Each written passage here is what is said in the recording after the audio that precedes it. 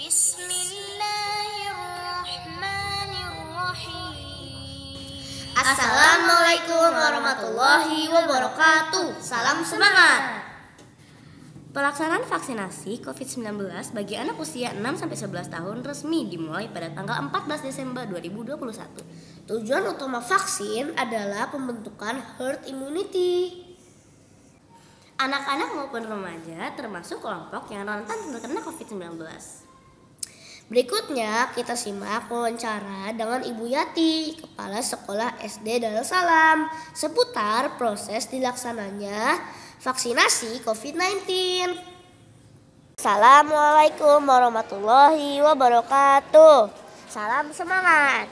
Saya Gifaras Perbaihaki dari kru Darel News. Saya akan mewawancarai Ibu Yati tentang kegiatan vaksinasi di SD Darussalam. Assalamualaikum Bu Yati. Waalaikumsalam. Boleh minta waktunya sebentar gak Bu? Boleh, silahkan.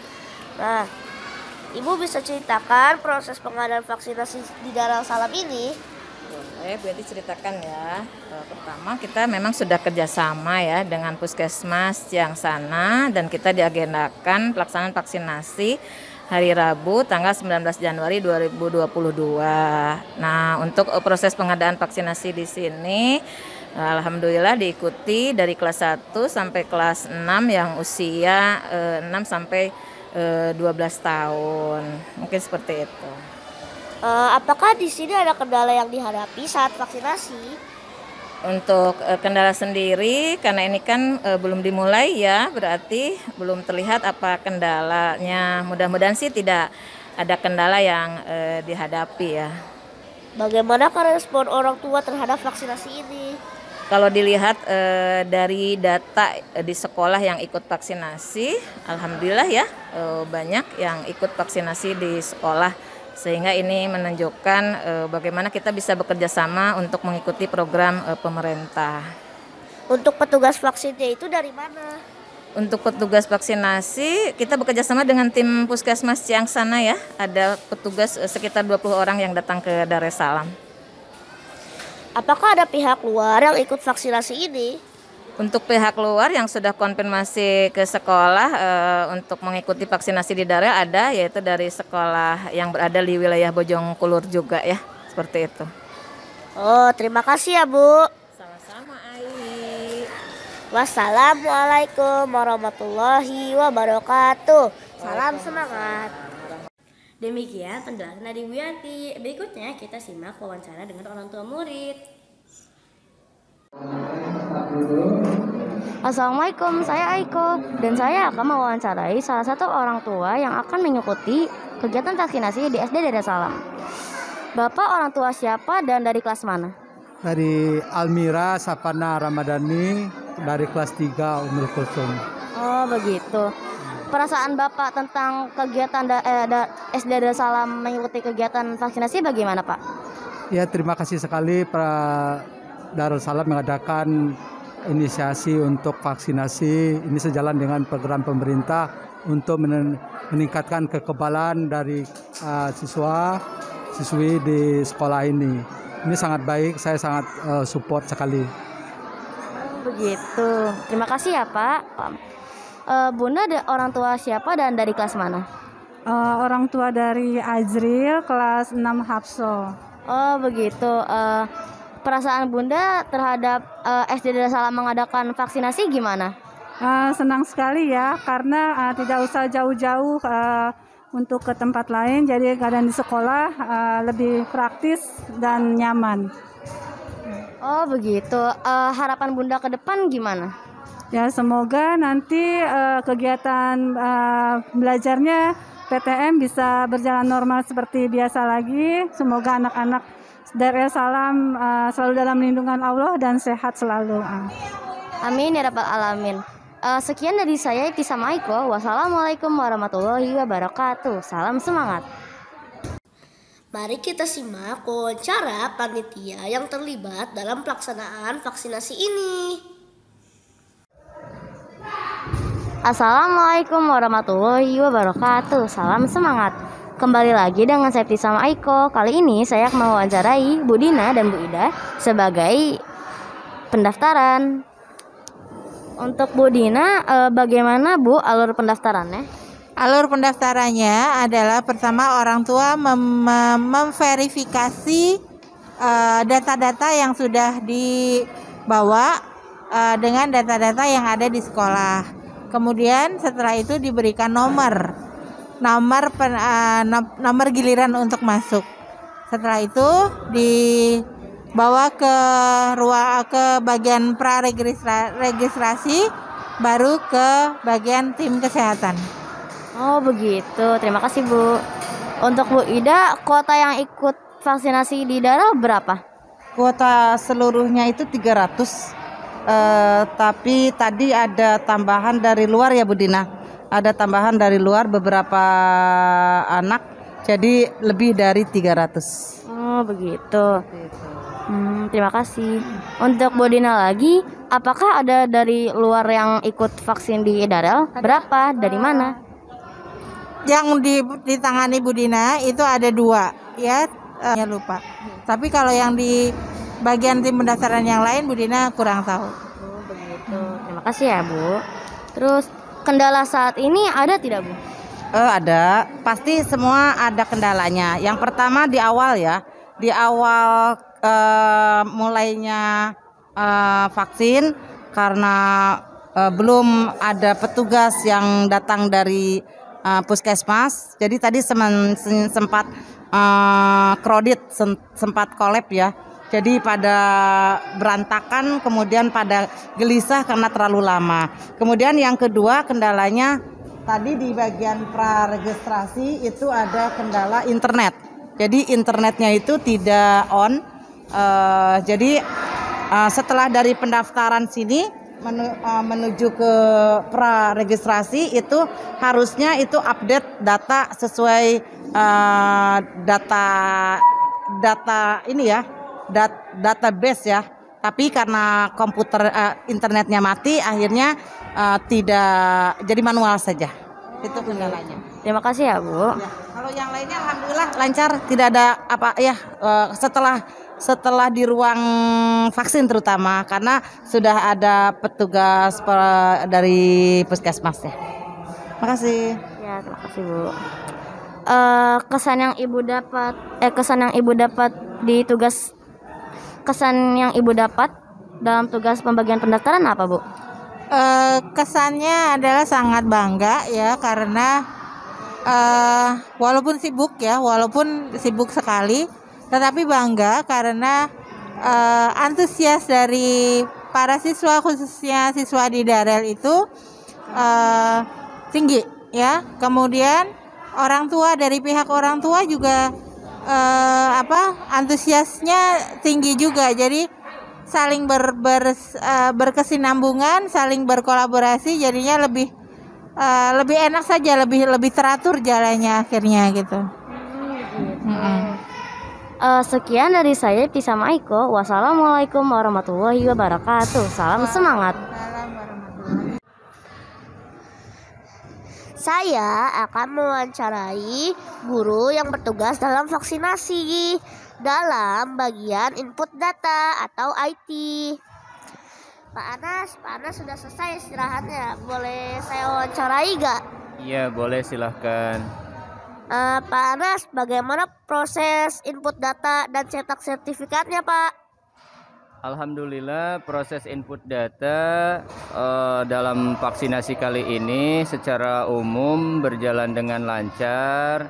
Namun terakhir tadi ada beberapa kendala saat di pertengahan eh, server pusat mengalami down jadi input datanya eh, sedikit terhambat begitu dan kemudian kita ambil solusi untuk menginput data secara manual terlebih dahulu begitu. Bagaimana kesannya, Pak, dapat tugas di bagian IT? Ya, mendapat tugas di bagian IT atau input data ini ya membutuhkan konsentrasi yang eh, lumayan harus kita berkonsentrasi penuh karena ini kita melihat data-data berupa nomor terdiri dari nomor eh, KTP dan nomor telepon yang harus kita masukkan. Baik, Pak. Terima kasih untuk waktunya. Sekian dari saya ya. Wassalamualaikum warahmatullahi wabarakatuh. Salam semangat.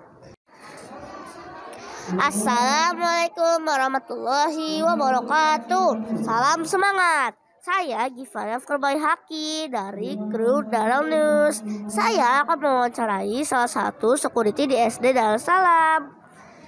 Permisi Pak, boleh minta waktunya sebentar gak Pak? Ya, boleh. Nama Bapak siapa? Ahmad Kurtubi. Baik Pak Ahmad. Eh, Pak Ahmad, bagaimana situasi tentang lalu lintas di Darussalam ini? Untuk pagi tadi, alhamdulillah eh, menjelang pelaksanaan vaksin ini, vaksinasi untuk siswa SD. Untuk parkiran dan lalu lintas ramai lancar, tapi masih masih kita atur sehingga tidak mengganggu eh, lalu lintas umum di jalan raya demikian. Eh, ini kan Bapak kan sedang mengecek suhu ya Pak. Apakah ada kendala saat mengecek tubuh? Suhu tubuh? Untuk pengecekan suhu, alhamdulillah tidak ada kendala. Mungkin ini agak padat aja karena eh, yang agak lama di proses screeningnya ya, adik demikian. Oh, terima kasih ya Pak. Sekian dari saya ya. Wassalamualaikum warahmatullahi wabarakatuh. Salam semangat. Assalamualaikum warahmatullahi wabarakatuh. Saya Gifara Haki dari kru Darul News. Saya akan mewawancarai Ibu Nur Latifah sebagai pihak konsumsi. Bu, boleh minta waktunya sebentar gak Bu? Oh, ya boleh silakan. Eh, Bu, untuk bagian konsumsi ini, konsumsi ini untuk siapa aja, Bu? Ya, untuk ke konsumsi pada acara vaksin ini kita akan membagikan kepada seluruh eh, pas- peserta vaksin, kemudian juga para penyuluh vaksin sendiri seperti apa namanya dokter dan eh, jajarannya, kemudian juga eh, guru-guru serta Eh, OB maintenance dan eh, security.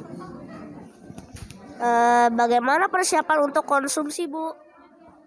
Ya, kami ham- alhamdulillah dari awal sampai akhir sudah apa? Sudah di sedang didistribusikan ya. Apakah ada kendala untuk pembagian snack konsumsinya, Bu? Sejauh ini belum ya, karena kita kan sudah eh, mengkoordinasikan ya. Jadi eh, paling nanti kita setelah anak-anak divaksin, kita akan eh, menghampiri anak-anak eh, apa untuk mendapatkan konsumsinya. Kalau untuk guru-guru dan yang lainnya kami sudah langsung eh, secara langsung ke guru-guru. Baik, Bu. Terima kasih untuk waktunya. Sama-sama. Sekian dari saya ya. Wassalamualaikum warahmatullahi wabarakatuh. Salam semangat. Berikutnya kita simak liputan wawancara dengan tenaga kesehatan yang bertindak sebagai vaksinator. Ya, sekarang saya akan mewawancarai salah satu vaksinator di kegiatan vaksinasi ini. Permisi Bu, nama Ibu siapa? Nama saya Bu Yatmi. Profesi saya bidan. Kebetulan saya eh, tugasnya di tempat sendiri yaitu di bidan praktek mandiri ya. Nah, Ibu, maaf ya mewawancara. Ibu sebagai vaksinator ya? Iya.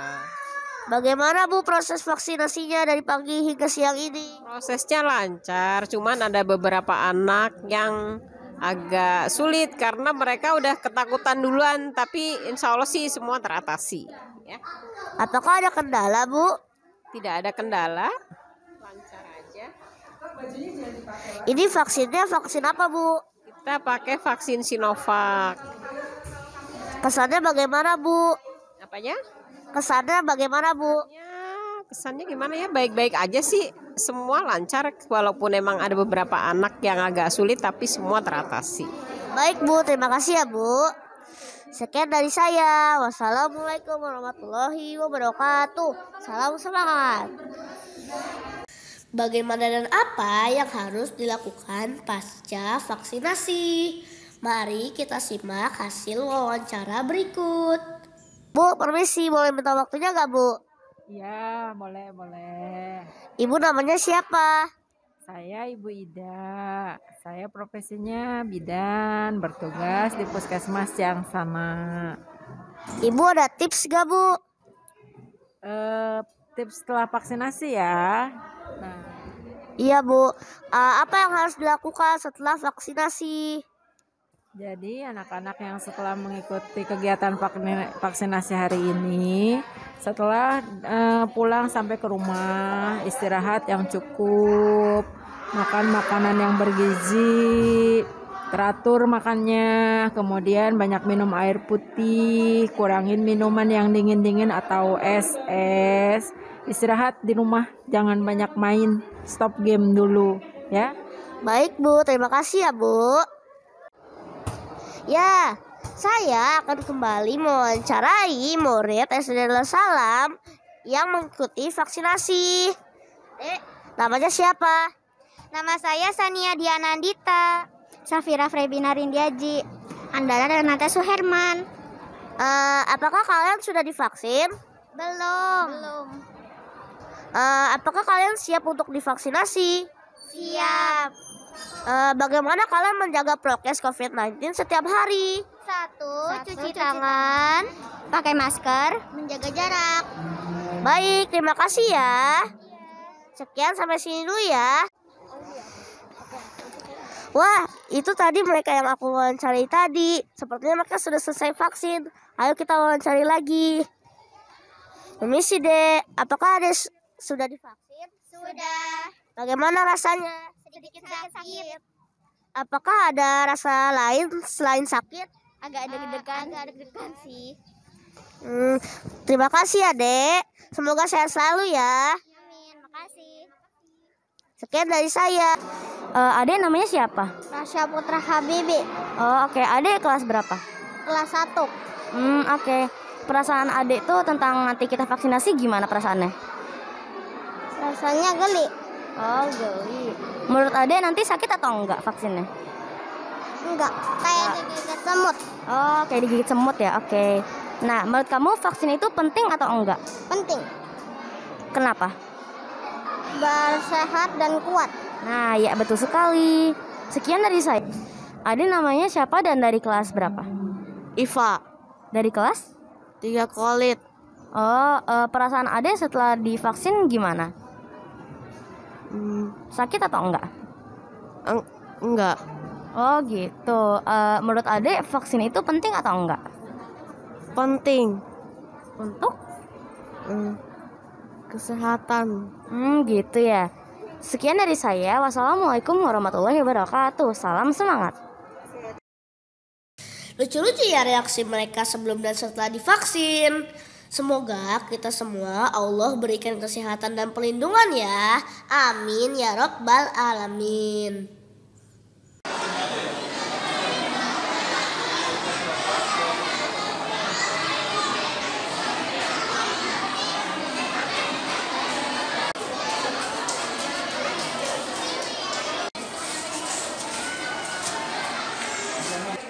Ayo saya. Nah, pakai aja sih. Pakai aja. Nanti susah ya. Silakan Bu. Ibu punten di depan. Kan sini saya lihat dulu. Ada. Aduh, kurang. Iya, Bu. Yang di depan nggak bisa buat itu. Ada di depan aja. Di depan aja.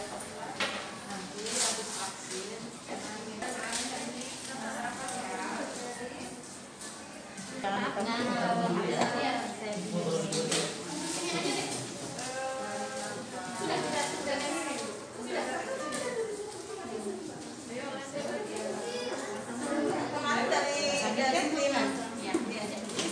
Yes. Yes.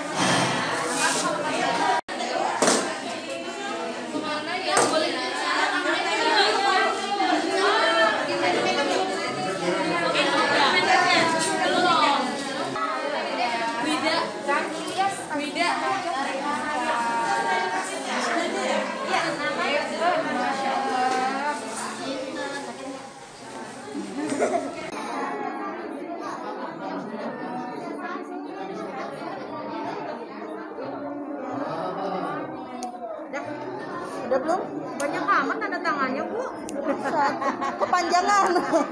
Kepanjangan. dosis kedua kartu di bawah ya. Belum.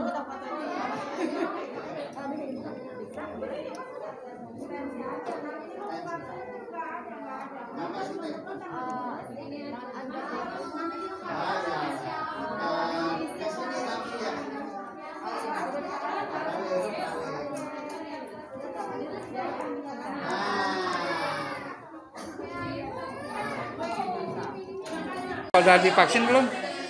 Udah divaksin belum? Udah. Udah. Gimana rasanya? Eh, nggak sakit. Ya sakit kan? Oke. Terus gimana? Nggak ada gejala panas yang segala macam? Ada. Oke, sip. Demikian liputan pelaksanaan vaksinasi di SD Darussalam. Sampai bertemu di episode berikutnya ya. Salam semangat. Wassalamualaikum warahmatullahi wabarakatuh. Lucu-lucu ya reaksi mereka. Nah, gitu bukan kita lucu-lucu. Lucu-lucu ya reaksi mereka. Sebelum Mana rasanya? Enak. Hah? Enak. Oh, enak. Enak.